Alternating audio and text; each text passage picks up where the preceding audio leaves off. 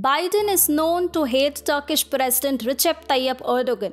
He looks at Erdogan as someone who buys Russian weapons despite being a US ally and has since long held a desire to unseat him. Now it looks like he has already kickstarted the process of doing so. Hi and welcome to TFI Global, the foreign affairs and geopolitical analysis arm of TFI Media Group. I'm your host Tejasvi Malhotra and in this video I will tell you how Biden may already have started a campaign to unseat Turkish President Erdogan.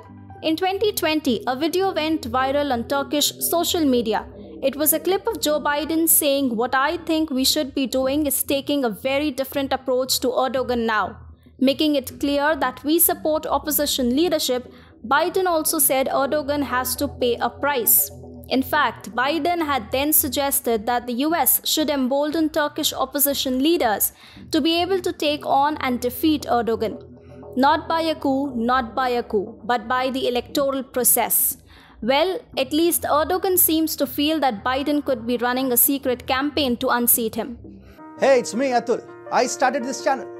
We started small, we went big. Suddenly, the whitey police was after us.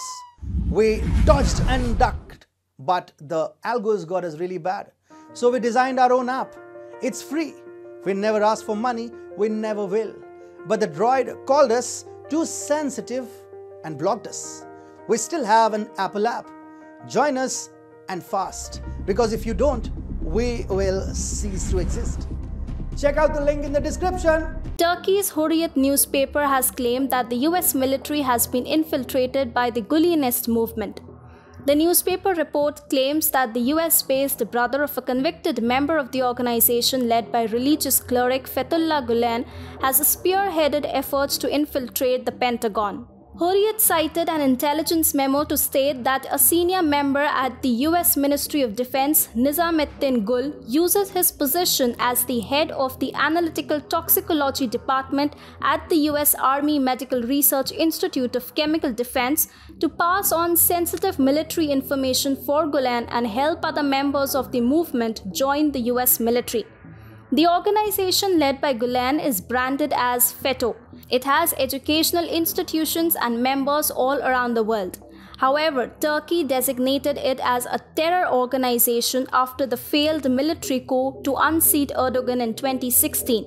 The Erdogan administration had then accused Gulen and his followers of having infiltrated the Turkish military and institutions as a part of the coup conspiracy.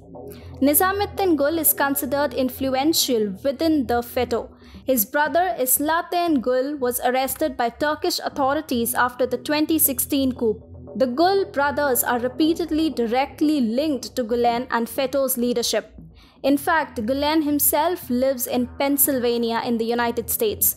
Turkey has been demanding his extradition, but the Biden administration hasn't even answered its requests. Make no mistake, Biden has harbored animosity against Erdogan even before coming to power.